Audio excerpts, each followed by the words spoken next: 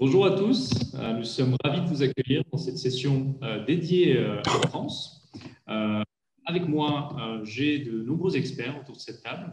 Je souhaiterais d'abord vous les présenter. Il s'agit d'abord de Karine Guillemot qui occupe les fonctions de, chargée d'appui aux acteurs économiques au sein de l'Agence française anticorruption, que nous remercions pour sa participation à cet événement.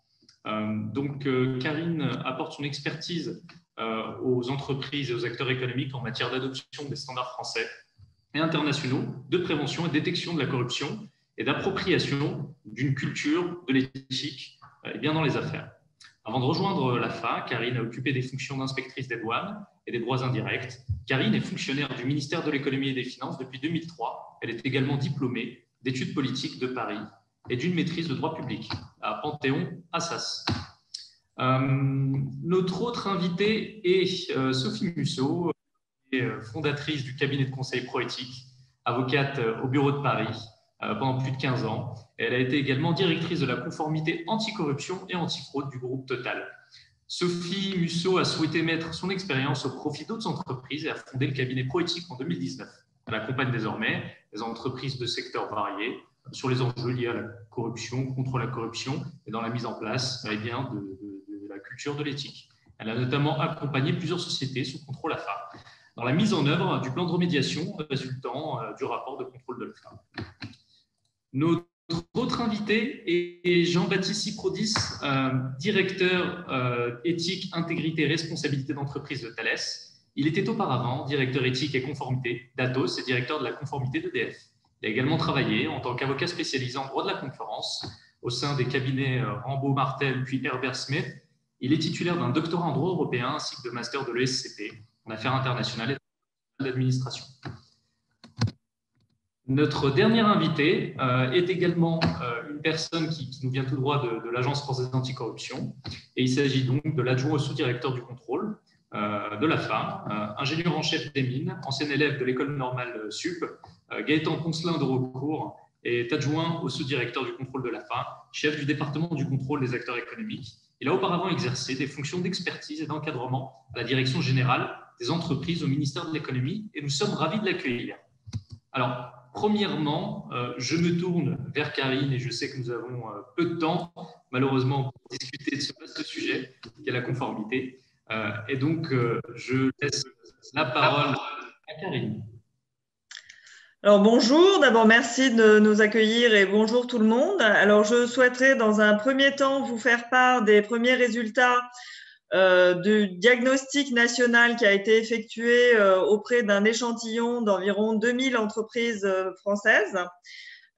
Pour dire que sur les cinq dernières années, 22% des entreprises interrogées ont été confrontées à un cas de corruption euh, ça représente environ 46% euh, d'entreprises assujetties et puis euh, le reste, donc un peu plus de 50% d'entreprises non assujetties, de PME, ETI. Mais donc ça reste relativement conséquent. Et parmi ces entreprises, si elles ont une assez bonne connaissance des, des infractions de corruption, on peut passer peut-être sur la slide suivante on peut voir que si elles ont adopté euh, dans leur grande majorité un code de conduite anticorruption, en revanche, elles ne sont que 56% à avoir adopté un dispositif de contrôle interne qui va nous occuper euh, aujourd'hui. Et puis, euh, puisque c'est relativement lié, on le verra sur le contrôle de deuxième niveau, elles ne sont que 48% à avoir un responsable conformité dédié. Euh, donc, euh, sur, euh, sur, les. on peut passer aussi à la, à la, slide suivante. À moins que ce soit Sophie, peut-être, qui nous parle d'abord des contrôles premier, deuxième et troisième niveau, hein, il me semble, non? C'est pas grave. Donc, euh, les préconisations de la FAS sont évidemment euh, trois niveaux de contrôle pour euh, une meilleure efficacité d'un dispositif de prévention et de détection de la corruption. qui, qui visent quatre objectifs. Donc, d'abord, mettre en œuvre et tester l'efficacité des mesures, identifier et comprendre les manquements, et puis définir des actions correctrices, c'est ce qui fait l'efficacité d'un dispositif pour détecter le cas échéant des faits de corruption. le contrôle de premier niveau, il vise, il est effectué par les équipes opérationnelles ou support ou par le premier niveau hiérarchique. Ce qu'il faut retenir, c'est euh, sur l'ensemble des, trois contrôles, c'est d'abord euh, procédure, formalisation, euh, transparence et puis, euh, et, puis euh, transparence dans la mesure où il faut être euh, en capacité de pouvoir précisément identifier qui a fait quoi à quel niveau de contrôle. C'est vraiment un élément absolument déterminant et qu'on retrouve à chaque niveau de contrôle. Donc, sur ce premier niveau de contrôle, c'est les équipes opérationnelles qui doivent connaître les points de vigilance à contrôler précisément euh, et l'idéal de ce point de vue, c'est d'adopter une procédure qui va préciser euh, quel est le périmètre du contrôle, qui atteste de la réalité des contrôles et par qui précisément, à quel moment est-ce qu'ils ont été réalisés. Chacun doit être en mesure d'identifier assez précisément euh, ce qu'il doit contrôler, quand et comment. Évidemment, les signalements de, des manquements euh, doivent être, euh, dans la mesure du possible, lorsqu'il y a un responsable conformité, euh, être transmis et signalés auprès du, responsable conformité qui, lui, et ça nous permet de passer au, au contrôle de deuxième niveau, qui, qui, lui devra s'assurer de la bonne exécution de ses premiers contrôles. C'est vraiment son rôle et euh, mettre en place un plan de contrôle de deuxième niveau couvrant l'ensemble du dispositif anticorruption, donc les points clés du dispositif, mais également les familles de risques associées, les dates précises du contrôle. Euh, et là aussi, formalisation, donc le périmètre du contrôle, le nom des responsables, la méthode et euh, la fréquence des contrôles et évidemment communiquer sur les résultats et les actions correctives potentielles parce que chacun doit pouvoir être en mesure d'identifier ce qu'il a signalé, ce qu'il a identifié, comment est-ce que ça a été effectivement traité. Et puis enfin, un contrôle de troisième niveau, qui est donc euh, l'audit et le contrôle interne. Euh, là encore, ça nécessite la définition et la formalisation d'un programme d'audit euh, le, fait de confier euh, cette, mission à des auditeurs experts, pas euh, à. alors, ça peut être un, contrôle interne, ça peut être confié à, une mission d'audit externe, mais l'essentiel, c'est qu'on ait des personnes expertes qui soit en mesure euh, de euh, vérifier l'efficacité du dispositif et qui dispose aussi des moyens pour euh, effectuer ces, contrôles. Ils, donnent lieu à un rapport d'audit. Ce rapport doit identifier très précisément les manquements, les risques identifiés et d'éventuels nouveaux risques qui n'avaient pas été identifiés et donc, les mesures correctives, évidemment, à adopter, euh, qui fait, la, euh, la, cohérence du dispositif et qui assure son efficacité dans le temps. Euh, évidemment, il est transmis pour mise en œuvre et pour prise en compte à l'instance dirigeante. Voilà ce que je peux vous dire sur les attentes principales de, de l'AFA en matière euh, de contrôle interne. Merci beaucoup, Karine. Euh, très intéressant, les, éléments que vous avez montrés. Euh, il y, a beaucoup de choses qu'on pourrait dire et on pourrait disserter, je pense, de, longues heures dessus. je vais passer désormais la parole à Sophie Musso, que nous avons présentée précédemment et qui pourra rentrer dans le détail des trois niveaux de contrôle et de quoi parle-t-on exactement.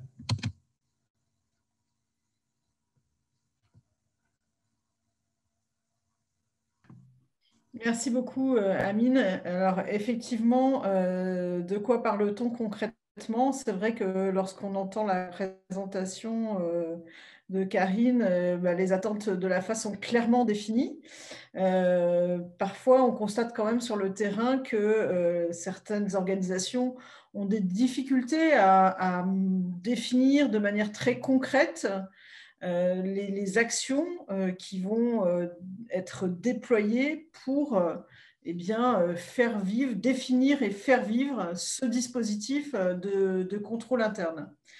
alors, le premier niveau, on, l'a dit, ce sont les opérationnels, hein, c'est le, niveau opérationnel. Et euh, c'est vrai que lorsque la conformité s'adresse euh, à ce, premier niveau, à, ses collègues opérationnels pour leur expliquer qu'ils sont en charge eux-mêmes d'une partie du contrôle du, déploiement du programme de prévention de la corruption, eh bien, euh, parfois, ça les laisse un petit peu dubitatifs. Et donc, c'est important que la fonction conformité eh bien, mobilise ces managers en leur apportant vraiment euh, des points précis. Euh, quand je dis des points précis, c'est-à-dire pour chaque euh, processus, pour chacun dans son périmètre, finalement, les aider à identifier les contrôles qui existent déjà, parce que forcément, il en existe déjà, et puis eh bien, identifier avec eux, à travers ce recensement, les points qui doivent être ajoutés à ces contrôles dont ils ont la charge. Concrètement, ça peut vouloir dire quoi? Eh bien, euh, je suis euh, euh, responsable comptable dans une entité. et par exemple, un des contrôles qui existe et dont j'ai la, la, responsabilité, ça va être de vérifier que les opérations comptables font bien l'objet d'une double validation. On sait bien que cette double validation, eh c'est également une mesure de prévention de la corruption. Et par conséquent, euh, eh c'est un, contrôle qui, lui, va exister déjà, mais qui va s'inscrire dans le, dans le dispositif de contrôle du programme de la prévention, de, la prévention de la corruption. Donc voilà, c'est les aider à identifier ce qui existe et qui participe à ce premier niveau de contrôle du programme anticorruption et ce qui doit être complété.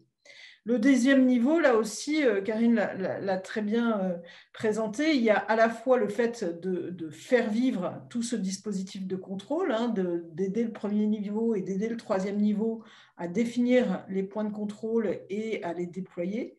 il y a aussi la partie qui concerne la conformité elle-même, c'est-à-dire que la conformité va euh, définir au-delà du dispositif de contrôle sur les trois niveaux, son deuxième niveau de contrôle avec les contrôles qu'elle entend mener euh, dans euh, les business units, dans les, filiales, etc., euh, pour vérifier que le programme de, prévention de la corruption qu'elle a élaboré, designé, hein, si, vous, si, vous, me permettez cette expression, eh bien, est vraiment déployé. Vraiment déployé, ça veut dire qu'il existe, ça, c'est une première étape.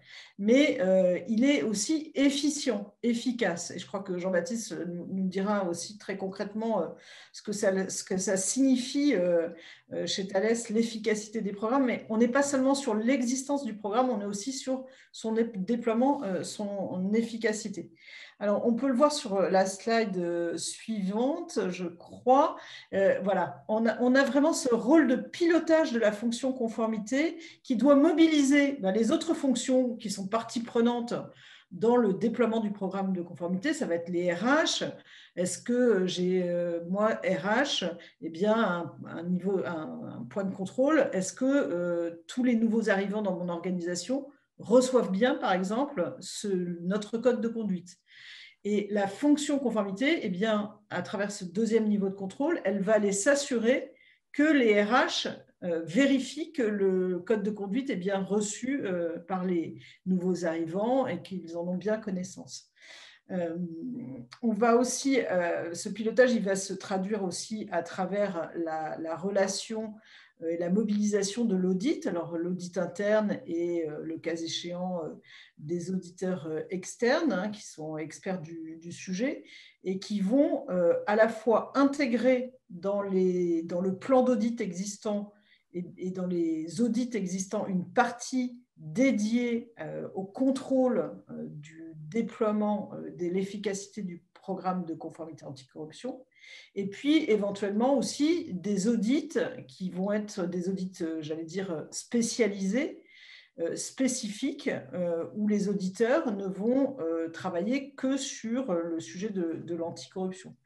Et tout ça nécessite effectivement à la fois une grande mobilisation, beaucoup de pédagogie. Hein, euh, il va falloir euh, aussi parfois euh, affronter bien les réticences des autres, des autres fonctions qui ne vont pas forcément naturellement vouloir s'inscrire dans cette démarche. Beaucoup de formation également.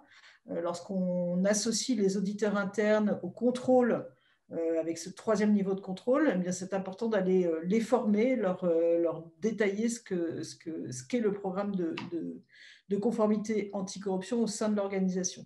Donc on le voit, la, fonction conformité n'est pas seule, elle doit travailler de manière transverse, hein, comme sur tous ces sujets, et mobiliser les autres fonctions. Je crois que c'est un des points importants qu'on peut déjà retenir. Merci Sophie euh, pour ces explications, euh, encore une fois extrêmement euh, pertinentes et intéressantes. je souhaiterais me tourner désormais vers, Jean-Baptiste, que nous apprécions beaucoup par son expérience et son expertise, et qui pourra, d'un point de vue je corporate et entreprise, les, différents niveaux de contrôle et, nous éclairer un peu d'un point de vue opérationnel, comment est-ce que ça se coordonne au sein d'un groupe tel que Thales. Merci, merci beaucoup Amine.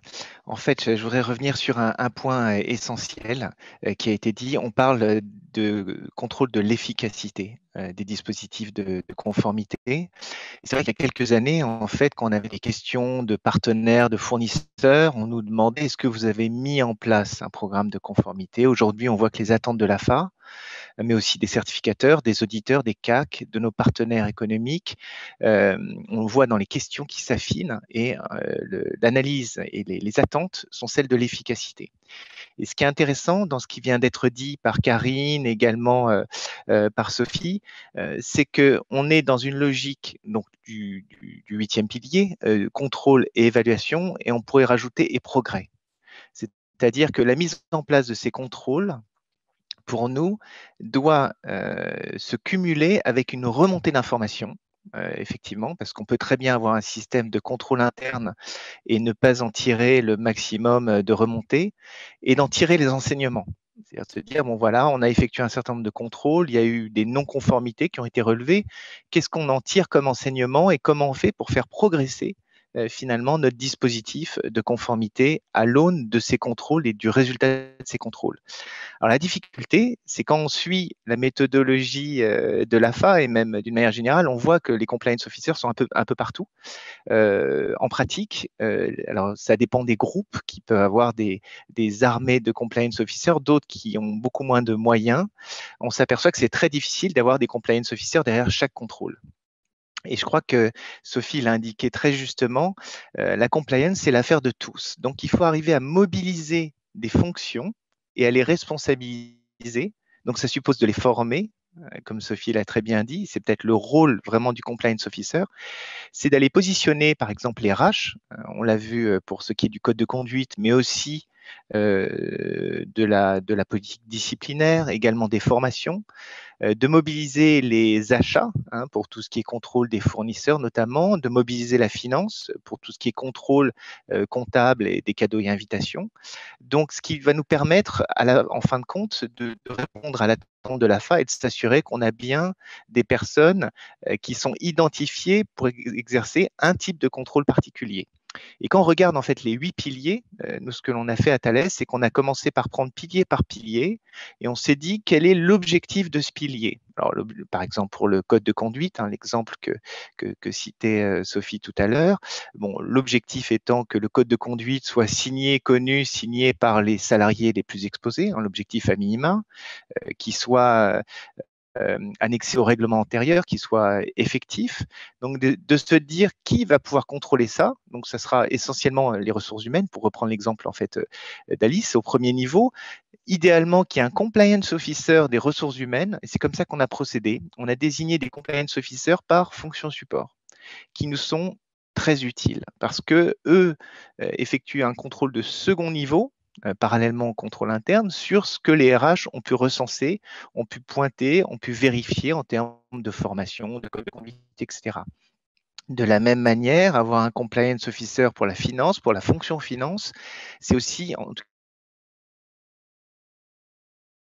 et les financiers suivent les formations euh, anticorruption, mais c'est valable pour les autres domaines de la compliance, et sont à même d'identifier au vu des risques un certain nombre de transactions euh, en fonction du partenaire, du lieu euh, géographique, qui sont jugées à risque. on a aussi toujours un adossement avec notre, cartographie des risques. Et donc, on a fait ce travail pilier par pilier. Donc, quel est l'objectif du pilier? Quelles sont finalement euh, les personnes qui sont, euh, euh, quel est le type de contrôle qui permet d'atteindre, de nous assurer que l'objectif est atteint? Et quels sont les contrôles de niveau 1, 2, 3. Mais à chaque fois, euh, on s'est aperçu qu'en faisant cet exercice, euh, l'évidence que les compliance officers seraient en contrôle de deuxième niveau, finalement, laissait place à plus de pragmatisme en disant ça ne sert à rien de charger des gens qui ne vont pas avoir le temps de faire ces contrôles, mieux vaut que le travail prenne racine dans la totalité du groupe. Ça a été un peu dit précédemment par Karine et, par Sophie, et, donc de responsabiliser d'autres fonctions. La difficulté, euh, c'est qu'effectivement, on est dans un mode de management d'influence plus que de hiérarchie, et puis les gens ont, pas mal d'autres choses à faire, donc c'est on the top off, euh, et, c'est ça qui prend énormément de temps, en tout cas dans le travail qu'on mène. Enfin, ce qui est important, c'est s'assurer à la fin qu'on a des moments où on peut, au niveau de la compliance du groupe, faire traiter toutes ces remontées d'informations et se dire à un moment donné, bon, ben, en fonction de ces remontées d'informations et des contrôles qui ont été exercés, on va devoir faire évoluer notre dispositif en modifiant telle ou telle instruction ou en mettant peut-être davantage de moyens sur un pilier par rapport à un autre, pour qu'à la fin, en fait, ce, ce pilier, ce huitième pilier de Sapin 2 ne soit pas vu comme du pur contrôle, mais comme une source de progrès de notre dispositif. Voilà, c'est partager avec vous un petit peu notre, notre vision, notre approche du sujet. Merci Amine. Merci pour, euh, pour ces éléments, euh, cher Jean-Baptiste. Euh, eh bien, il a laissé parler notre, notre cher cher euh, Gaëtan, qui depuis tout à l'heure est, extrêmement calme, le pauvre.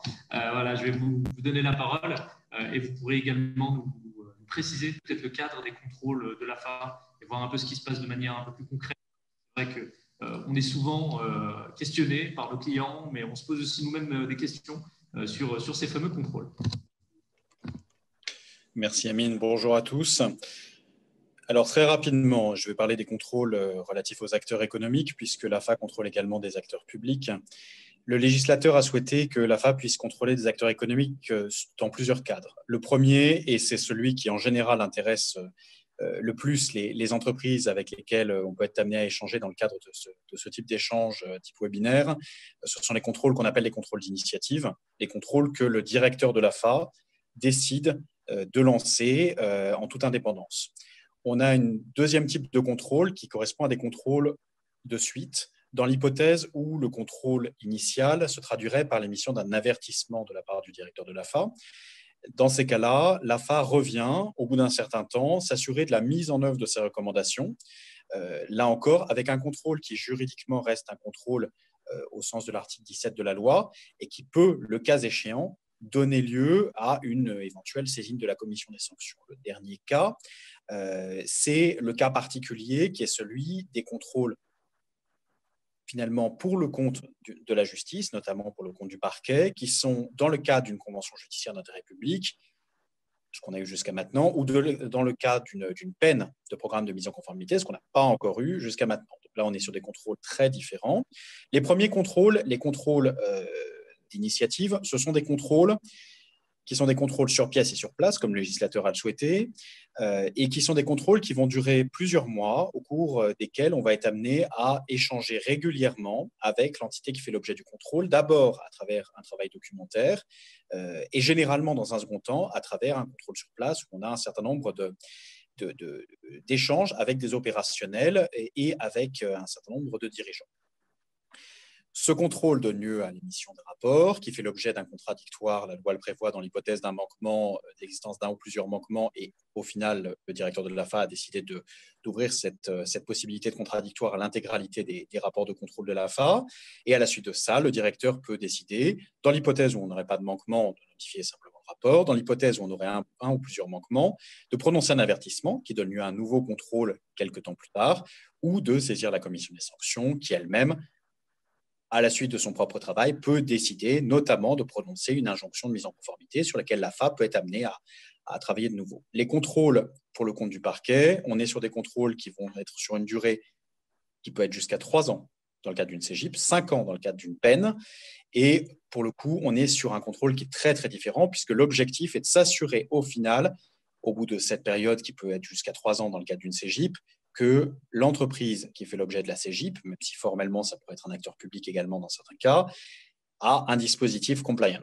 Euh, donc là, ça veut dire qu'on va arriver dans un premier temps, on fera une forme de contrôle ou d'audit initial, on va valider un plan d'action de remédiation euh, qui est proposé par l'entreprise et on va s'assurer ensuite, à travers des audits ciblés, du déploiement réel du plan de remédiation de manière à donner l'assurance raisonnable au parquet qu'à la fin de la CGIP, euh, l'entreprise a bien atteint l'objectif fixé par le législateur. Je reviendrai un petit peu plus tard sur la manière dont se déroulent précisément les contrôles et notamment la manière dont on va, au niveau des équipes de contrôle composant mon département, chercher à répondre aux différents points et notamment aux différents piliers de l'article 17. Euh, je vous propose qu'on l'évoque dans un second temps.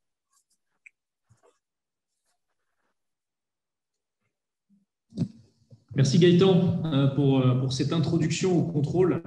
Euh, je dirais que d'un point de vue anticipation, parce que c'est également des, interrogations qu'ont les, acteurs économiques de nos jours, peut-être Sophie, qu'est-ce que vous préconisez?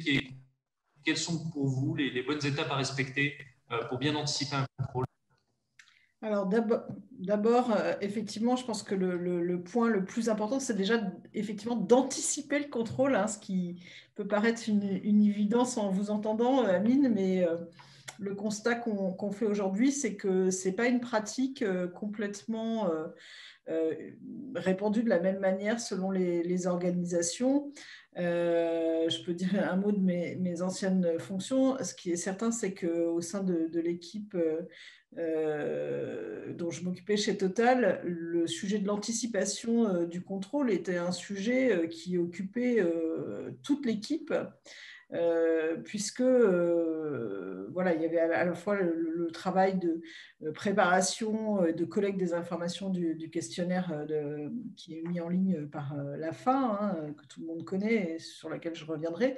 Il y avait aussi également le fait d'ajuster et d'améliorer de manière continue le, le programme. Jean-Baptiste, on a dit un mot et je pense que c'est important, ça fait le lien entre les deux parties de, de ce, séminaire, euh, le, contrôle, le dispositif de contrôle hein, qui est prévu par l'article 17 de la loi Sapin 2, euh, eh bien, il permet aussi euh, d'ajuster, d'améliorer son programme de, conformité pour le rendre plus pertinent finalement au, retour des, au regard des retours d'expérience qu'on peut avoir.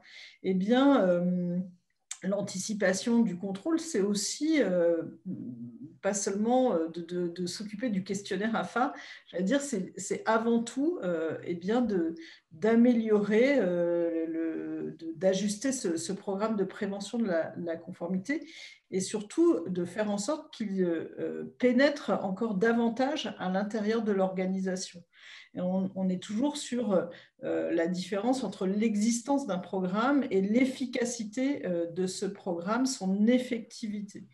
Euh, donc, pour cela, ça passe par différents, différents axes, hein, bien entendu. Toujours l'engagement des instances dirigeantes. on ne peut pas déployer un programme euh, de conformité efficacement sans avoir euh, à côté de soi hein, vraiment euh, des instances dirigeantes qui sont complètement engagées dans cette démarche. Je, pense que Jean-Baptiste voilà, abondera certainement et peut-être illustrera ce propos, mais je dirais être, être Chief Compliance Officer et ne pas avoir les, les instances dirigeantes mobilisées c'est déjà partir avec, avec un, très fort handicap. donc, il faut les mobiliser pour leur, sur ce sujet du, du contrôle AFA pour leur expliquer quels sont les enjeux, bien évidemment. Euh, qu'est-ce qui se passe si le contrôle se passe euh, pas très bien hein, concrètement? Quels sont les risques pour l'entreprise, les risques juridiques, et également des risques financiers euh, en termes de sanctions, mais pas seulement. On va, être obligé d'avoir un plan de rémédiation. Hein, Gaëtan l'a évoqué. Donc, ce plan de rémédiation, il coûte toujours, il mobilise des ressources financières. Hein, on, va mobiliser, on va devoir mobiliser euh, peut-être des ressources internes euh, sur un plan de rémédiation alors qu'elles sont appelées à faire autre chose. On en revient toujours à nos opérationnels. La, conformité, c'est en plus, hein, donc souvent. Et donc, du coup, un contrôle qui se passe bien, eh bien, c'est aussi la garantie que des ressources vont pouvoir continuer à, entre faire leur job plutôt que de travailler sur un plan de rémédiation. Euh, les enjeux réputationnels pour, pour l'entreprise, hein, euh, on, a quelques exemples en tête depuis que, la loi est applicable et que les contrôles ont été lancés je ne pense pas qu'il y ait aujourd'hui une organisation qui, ait envie de, faire la une de toutes les publications, euh, notamment juridiques, euh, voire plus que, que juridiques, un généraliste sur le sujet euh, d'un contrôle qui se passe mal, d'un renvoi devant la commission des sanctions. C'est quand même en termes réputationnels des choses qui sont peu positives. Et donc, il va falloir euh, toujours euh, ben, beaucoup de pédagogie, expliquer aux instances dirigeantes aussi comment se passe un contrôle, euh, comment se passe un contrôle, quel, vont, quel, va être leur rôle au cours de ce contrôle. on sait que, bien, entendu, les dirigeants vont être interviewés, des administrateurs également, très souvent. Euh, donc c'est important, euh, c'est important que les instances dirigeantes euh, aient une compréhension juste de ce qu'est un contrôle de la FAD et la façon dont, il se déroule et des suites possibles et des enjeux qui y sont attachés. L'autre sujet, c'est également de mobiliser, on en revient à ce qu'on disait tout à l'heure, les autres fonctions clés de l'entreprise, en tout cas celles qui ont un rôle à, jouer très actif dans le déploiement du programme de conformité. On a parlé des RH, la finance bien entendu, euh, l'audit interne, le contrôle interne si cette fonction existe dans l'entreprise, euh, les RH aussi euh, pour la partie formation. Donc c'est important que toutes ces fonctions soient également très mobilisées, euh, qu'elles aient aussi conscience du rôle qui va être le, leur pendant le déroulé du contrôle. à quel moment elles, vont, elles sont susceptibles d'être interviewées, euh, quel euh, va être leur, rôle d'entraînement de, leurs équipes. Euh, mais j'allais dire, c'est aussi euh, le moment, certainement, euh, de mobiliser encore plus les collaborateurs. Hein. C'est un peu une opportunité, finalement, qui euh, se présente à la fonction conformité. Hein. Je pense qu'on peut voir tout sujet comme une contrainte ou une opportunité. Eh bien, le contrôle, en tout cas, la, potentialité, hein, si je puis utiliser ce, ce terme, d'un contrôle AFA peut aussi être une opportunité pour la fonction conformité pour euh, renforcer euh, son dispositif, hein, pour euh, renforcer les actions qui sont déployées, la sensibilisation. Et finalement, on voit bien que l'anticipation de ce contrôle, elle va permettre pas une mobilisation spécifique des collaborateurs, mais peut-être une, mobilisation accrue des, collaborateurs et finalement, elle va participer à rendre aussi euh, le, programme encore plus euh, efficace et effectif hein, euh, au sein de, l'organisation. Parce qu'il faut quand même dire quelque chose, on ne fait pas de la conformité, on ne déploie pas des actions pour satisfaire euh, l'AFA. J'allais dire, euh, si, c'est l'objectif, on, passe quand même à côté de, de, l'objectif premier. Et l'objectif premier, c'est quand même la prévention de la corruption. Et ça, je pense qu'il faut jamais oublier de redonner du sens à cette démarche et prendre peut-être un peu de recul. Oui, on anticipe un éventuel contrôle AFA, mais finalement, euh, c'est euh, une, démarche qui va beaucoup plus loin parce qu'en faisant ça, on participe aussi au renforcement de la culture conformité à l'intérieur de l'entreprise hein, ou de l'organisation. Euh, et, de cette manière, on, passe du déploiement d'un programme euh, à, l'existence d'une culture conformité. Et, je pense que euh, voilà, vous serez tous d'accord pour euh, convenir que c'est beaucoup plus intéressant et c'est aussi ce qui va faire que les collègues, les collaborateurs vont être une partie prenante très positive et active euh, dans le déploiement de ce programme. Le déploiement du programme, ce n'est pas l'affaire de la conformité euh, seule, certainement pas. Hein, Jean-Baptiste l'a redit, la conformité ne peut pas avoir des bataillons de, compliance officer ou de relais conformité éthique. Elle doit s'appuyer sur ces instances dirigeantes et euh, les collègues euh, qui aussi sont partie prenante. Et c'est de cette manière qu'on on va tendre vers un, niveau de déploiement, un niveau de programme qui, sera, qui pourra être considéré comme satisfaisant pour, euh, enfin, je pense, pour l'Agence française anticorruption. Donc, je crois que c'est vraiment ça qu'il faut essayer de mettre en avant, plus que oui, préparer le questionnaire AFA, c'est un point bien entendu important. Il y a tout un travail de collecte des informations où là aussi on travaille de manière très transverse avec les autres fonctions. La question aussi de, la gouvernance du, du questionnaire. Hein, euh, comment est-ce qu'on met à jour ce questionnaire euh, Comment est-ce qu'on on le fait vivre euh, au fur et à mesure des évolutions que rencontre le programme de conformité euh, anticorruption. Mais j'allais dire, euh, bien entendu, c'est important, ça mobilise du monde, c'est beaucoup de travail. Euh, mais je crois que le plus important, c'est vraiment la capacité qu'on a à, mobiliser les instances dirigeantes et les collaborateurs de l'organisation pour faire en sorte que ben, le, si un jour euh, l'AFA euh, entreprend un contrôle, eh bien, euh, on est passé de, de, la mise en place d'un programme à l'existence d'une culture conformité qui me semble satisfaire bien davantage aux exigences euh, de la loi et, par conséquent euh, aux attentes de l'Agence française anticorruption. Donc j'espère qu'elle est, d'accord avec ce propos. Et voilà, euh, le, point sur l'anticipation du contrôle à fin.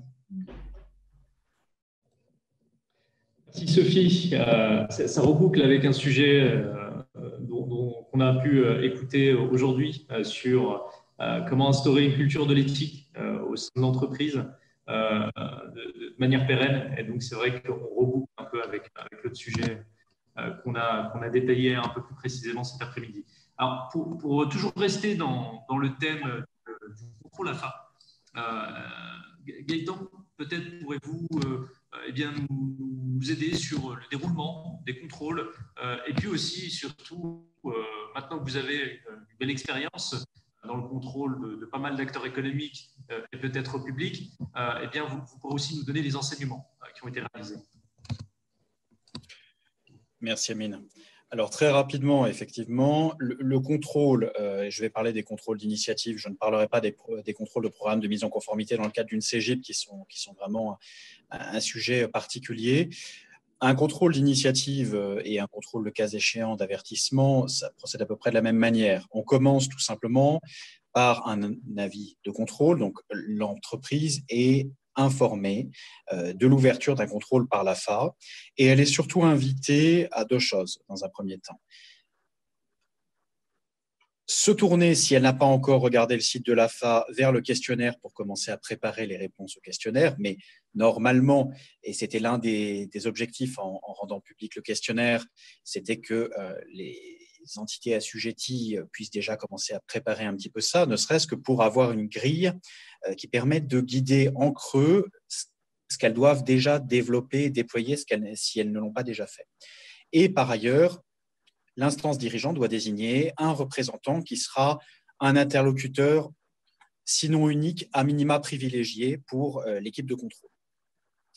À la suite de euh, la réception des premières pièces euh, par l'équipe de contrôle, l'équipe de contrôle va évidemment les analyser et va ensuite engager un dialogue avec l'entité contrôlée, étant entendu qu'elle va très rapidement, et parfois même avant la réception des premières pièces, chercher à échanger avec le responsable désigné euh, par le, dirigeant, mais également un certain nombre d'autres responsables pour comprendre l'entreprise, son organisation et son modèle économique en grande masse. Parce qu'à partir de ça, finalement, l'équipe de contrôle va devoir euh, comprendre comment l'entreprise vit, comment elle fait son business, et du coup, en creux, va pouvoir commencer à avoir une première lecture de son côté de quels sont ses propres risques où sont les foyers de risque euh, au niveau de l'entreprise, ce qu'elle va pouvoir ensuite euh, challenger au regard des pièces que l'entreprise aura, euh, aura bien voulu transmettre. À la suite de ce travail, l'équipe de contrôle va progressivement rentrer de plus en plus en profondeur dans les différentes mesures et procédures. L'objectif, ce n'est pas de se limiter à un travail documentaire, mais le législateur a souhaité qu'on aille voir également l'efficacité des mesures. Donc, quand on a bien compris les mesures et procédures et quand on les a, le cas échéant, discuté avec l'entreprise pour s'assurer d'avoir compris les tenants et les aboutissants de la procédure en question, on va aller regarder comment elle vit. Et donc, à ce titre-là, on va notamment avoir un certain nombre d'échanges, essentiellement dans le cadre du contrôle sur place, avec un certain nombre de fonctions. Alors, il y aura évidemment des fonctions avec l'instance dirigeante, puisque la responsabilité, au sens de la loi, elle porte notamment sur l'instance dirigeante. On aura un certain nombre de fonctions, généralement au niveau direction, mais également des fonctions opérationnelles qui peuvent aller jusqu'à l'opérationnel qui manie au jour le jour la procédure pour comprendre en vrai comment la procédure vit. Et donc, à travers ces différents échanges, l'objectif, c'est vraiment de répondre à ce que le législateur a souhaité euh, pour cette phase de contrôle sur place, c'est de vérifier l'exactitude de tout ce qu'on nous a donné en termes de travail documentaire. À ce niveau-là, on va également être amené à demander un certain nombre d'échantillons. Donc, on va faire un carottage très classique pour euh, quelqu'un qui fait de l'audit, par exemple, pour aller s'assurer qu'au-delà du discours de l'opérationnel, on le retrouve bien au niveau de, des dossiers et au niveau, par exemple, des procédures, si on a une procédure d'évaluation des tiers, des différents contrats qui auront été, euh, par exemple, par exemple réalisés. À la suite de ces échanges, donc on a euh, une réunion de clôture du contrôle qui est organisée avec le dirigeant ou son représentant, au cours de laquelle l'équipe de contrôle va rappeler la suite, c'est-à-dire qu'il y aura un rapport de contrôle qui fera l'objet d'une contradiction pendant deux mois, et à la suite de cette contradiction et de l'analyse du contradictoire, le directeur de la FA notifiera sa décision. Mais également, au cours de cette réunion euh, de clôture, l'équipe de contrôle peut être amenée à aborder quelques premiers enseignements du contrôle, donc sur l'entreprise en question. L'objectif, de cette, de cette phase, c'est de faire finalement une photo à un instant T, mais de comprendre aussi la dynamique dans laquelle l'entreprise s'est inscrite, en particulier depuis l'adoption de la loi, de manière à pouvoir comprendre si tout n'est pas encore euh, au standard attendu, si on est dans une démarche d'amélioration continue qui vise à atteindre cet objectif-là. Cette visée va permettre en particulier de nourrir la réflexion finale du directeur sur les suites données au contrôle dans l'hypothèse où on aurait des manquements. Alors, si on regarde, j'ai parlé des enseignements du contrôle individuel, mais euh, aujourd'hui, euh, vous l'avez dit, l'AFA a maintenant plus de trois ans. Ça fait maintenant trois ans qu'on a lancé des contrôles sur les acteurs économiques. En grande masse, d'ici la fin de l'année, on aura ouvert plus de 80 contrôles sur des acteurs économiques. On commence à avoir des enseignements macro. Les enseignements macro qui viennent en grande partie conforter les éléments que Karine nous a présentés tout à l'heure sur le diagnostic national qui avait été lancé par l'AFA. La première chose, c'est que, et c'est important de le dire, trois ans après, on a, on a, on plus le cas de l'entreprise où on arrive et on nous dit ah bon, il y avait une loi, en fait, on n'a rien. Bon, ce qui est déjà rassurant.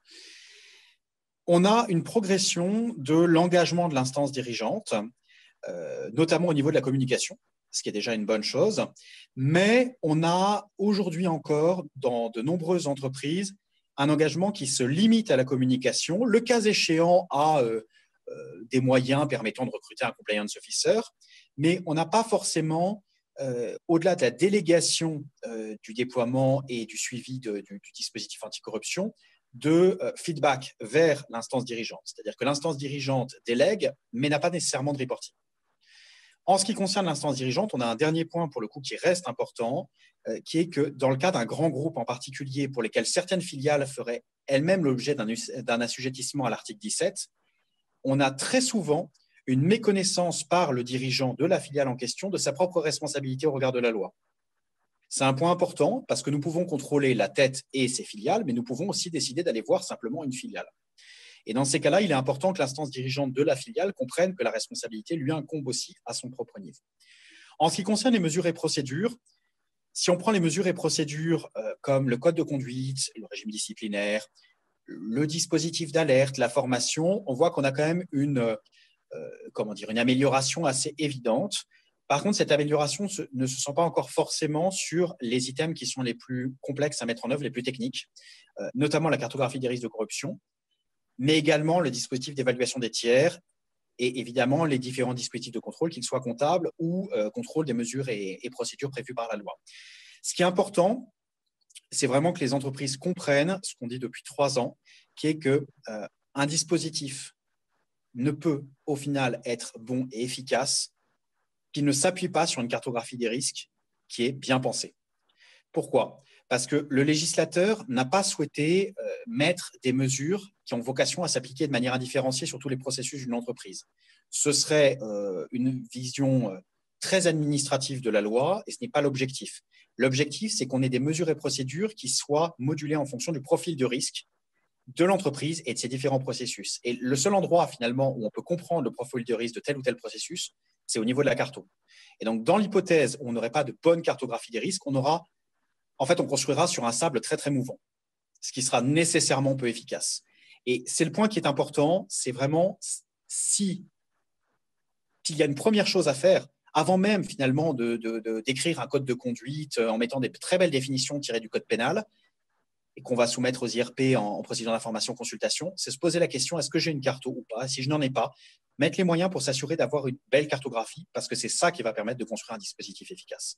Et encore aujourd'hui, c'est technique, une cartographie, c'est évident. On voit quand même de plus en plus d'entreprises qui cherchent à faire des choses de manière euh, bien pensée. Et on a aujourd'hui également, au niveau des différents conseils qui peuvent accompagner une entreprise, des conseils qui ont bien compris aussi aujourd'hui ce que devait être une carto et euh, ce à quoi finalement la face attendait euh, en termes de cartographie bien pensée.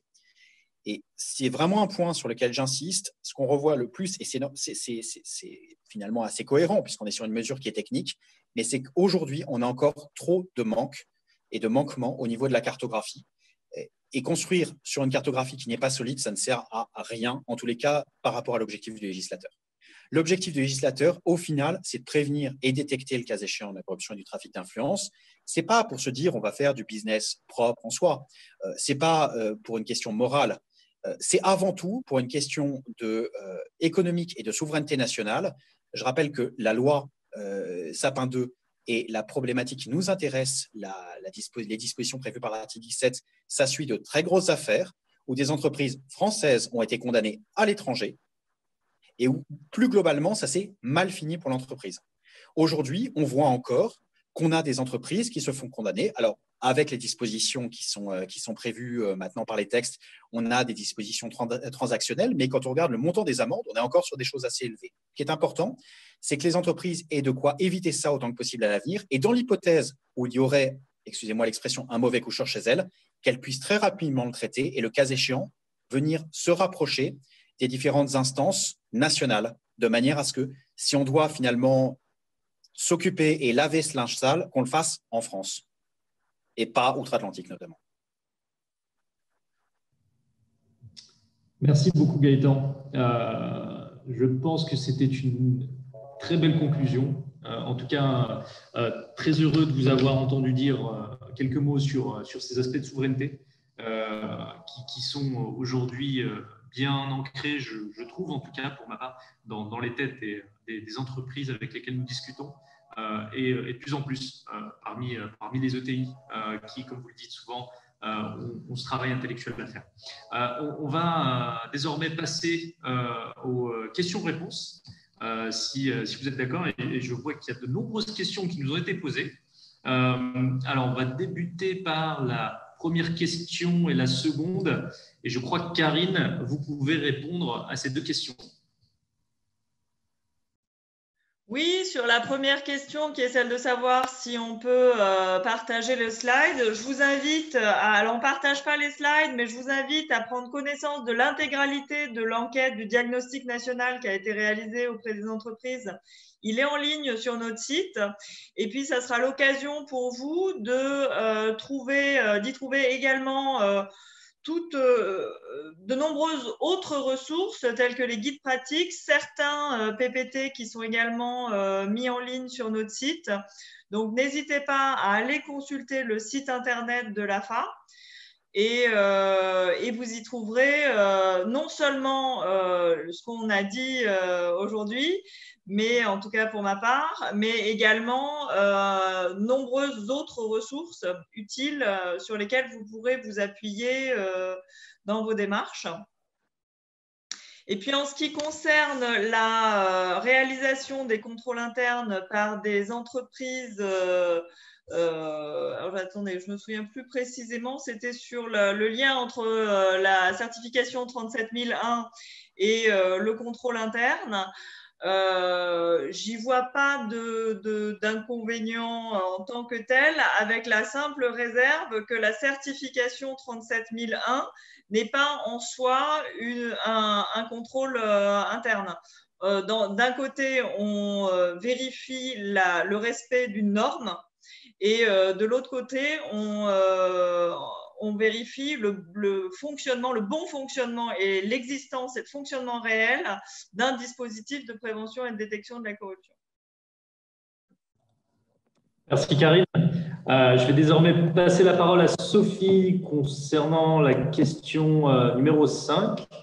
Euh, si vous le souhaitez, Sophie, je vous laisse répondre. Oui, alors la, question euh, était relative aux réticences des opérationnels hein, qu'on a tous, euh, je crois, euh, évoquées. Et la question, c'était de savoir s'il existe des bonnes pratiques pour surmonter ces, réticences.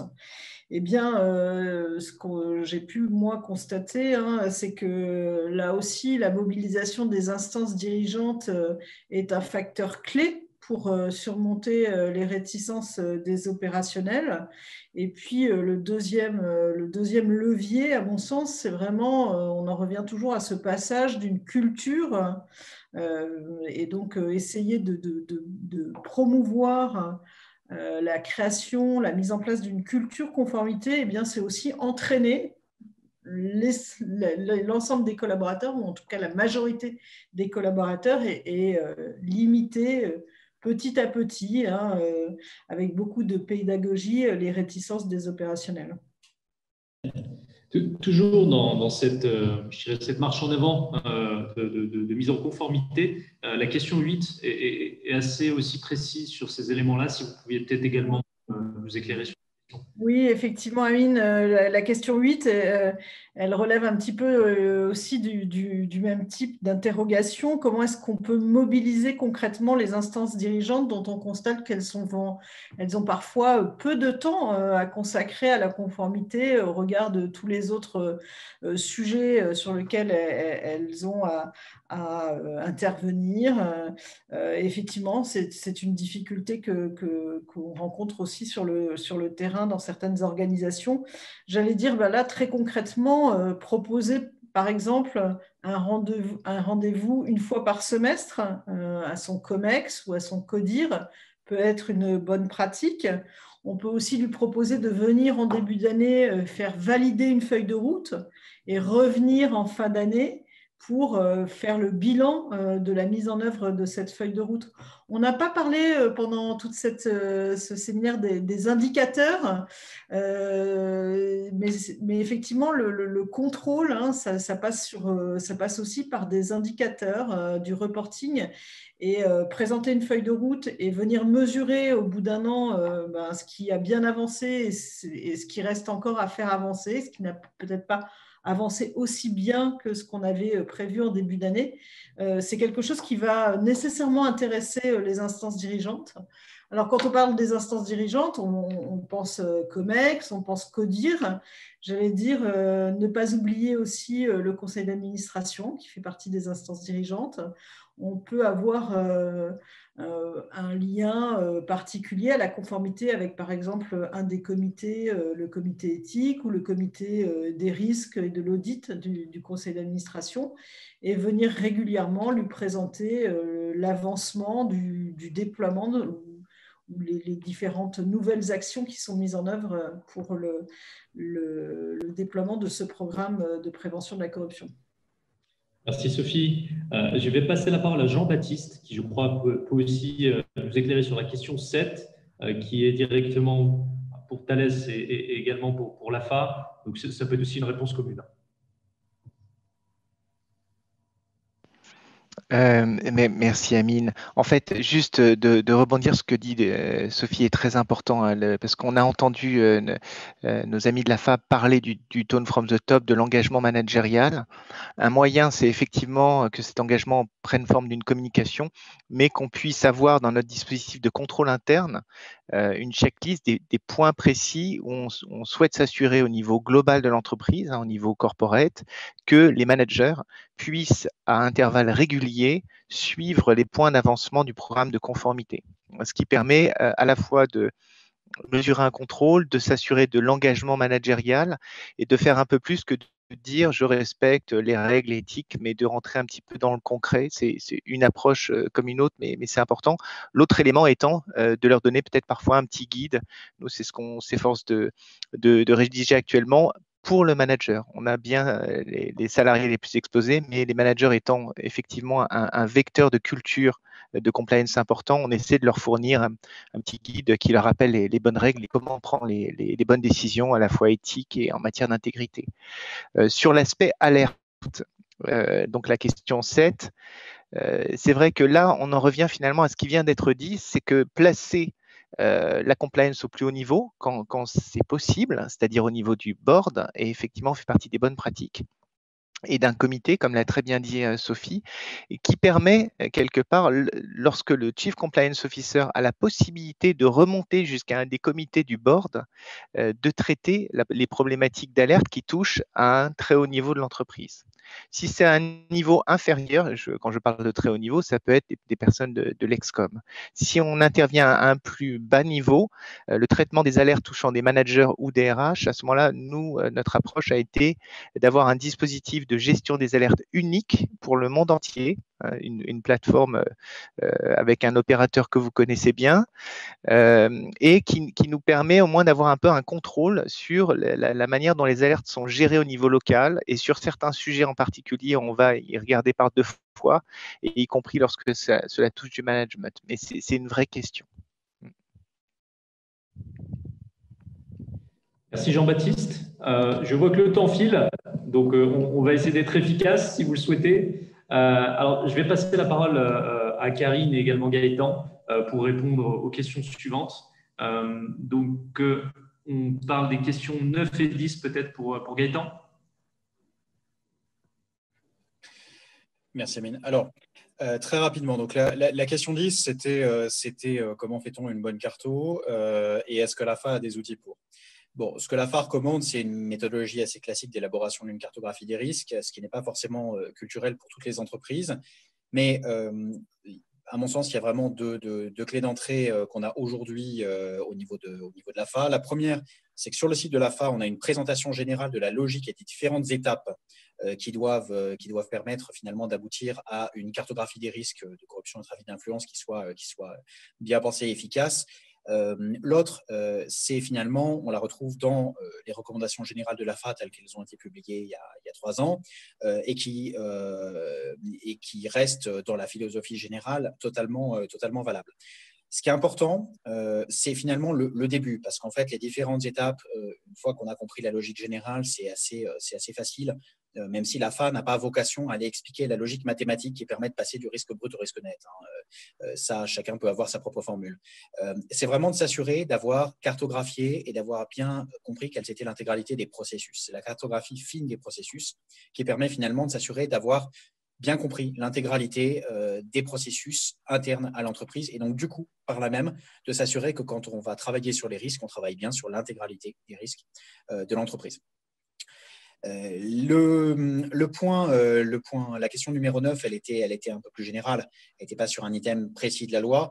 Elle était, euh, on est dans un contexte très particulier. On a déjà dès aujourd'hui un certain nombre de plans sociaux et, il est malheureusement possible, sinon probable, qu'en 2021, on en ait encore un certain nombre. déployer un programme de mise en conformité, c'est coûteux, c'est vrai. c'est coûteux.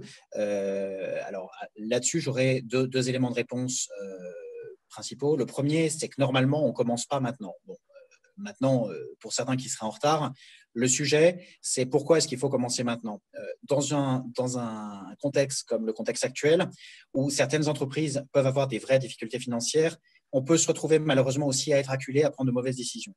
et c'est dans un contexte comme ça, finalement, qu'on a des risques qui peuvent surgir là où, quand tout va bien, les risques ne surgissent pas forcément. Quand on est acculé et qu'on se dit notre entreprise n'est pas forcément euh, et risque, risque demain de mettre la clé sous la porte, on a besoin de faire du chiffre d'affaires, on a besoin de faire du business, euh, on peut malheureusement euh, être tenté de faire des choses qui, qui finalement dépassent la limite. Donc, il faut s'assurer dans ces cas-là d'avoir encore un dispositif. Là où finalement le, le, directeur de l'AFA a pu intervenir, c'était que, évidemment, on va prendre en compte euh, tout ce qui existe euh, et toute la dynamique qui existe. La dynamique, elle est ralentie par le contexte actuel, on en est parfaitement conscient. Euh, et ça, on l'intègre dans la réflexion, on l'intègre dans le travail au niveau des équipes de mon département, et le directeur l'intègre aussi dans sa propre réflexion finale au niveau des suites. De la même manière, une entreprise qui, euh, au moment où on vient en contrôle d'avertissement, aurait pris du retard du fait de la situation euh, sanitaire et économique actuelle, on va l'intégrer, on va intégrer toutes les, finalement toutes les causes externes dans ce retard-là. ce qu'on vérifiera, c'est si l'entreprise, d'une manière générale, s'est inscrite dans une démarche d'amélioration continue. Et peut-être qu'elle a pris du retard pour des raisons externes, peut-être que ce n'est pas exclusivement externe d'ailleurs, ça peut être également interne, mais on s'assurera finalement que cette démarche elle est réellement présente et que le cas échéant, si on était venu trois ou six mois plus tard, eh ben, la photo aurait été bien meilleure. Merci beaucoup Gaëtan euh, pour ces éléments de réponse. Euh, autre question qui a été euh, apparemment plébiscitée et poussée en avant par, par, nos, suiveurs, les gens qui suivent ce, débat. donc c'est la question numéro 3. Serait-il possible de préciser les différences entre les contrôles de troisième niveau de la mesure 8 de l'article 17 les contrôles comptables de la mesure 5 Alors, si, on reprend la, genèse de la loi, le dernier item, euh, le huitième item, le contrôle des mesures et procédures, ça a été ajouté pendant, le, navette parlementaire par amendement. L'objectif euh, du législateur à ce moment-là, c'était de dire, c'est bien de déployer des mesures et procédures, dont des contrôles comptables d'ailleurs, mais il faut s'assurer que ces mesures font elles-mêmes l'objet d'un contrôle. Donc, cette dernière, euh, cette dernière, ce dernier item, cette dernière euh, mesure, c'est de s'assurer que tout ce qu'on a déployé sur les sept premières lignes, dont les contrôles comptables, font bien eux-mêmes l'objet de contrôle. Donc, on fait bien un contrôle sur la formation, qu'on fait bien un contrôle sur le dispositif d'alerte, qu'on fait bien des contrôles sur les due deals, qu'on fait bien, et le cas échéant d'ailleurs, qu'on fait bien des contrôles sur des mesures et procédures que la loi n'aurait pas prévues, mais qu'on a envie de déployer pour aller au-delà.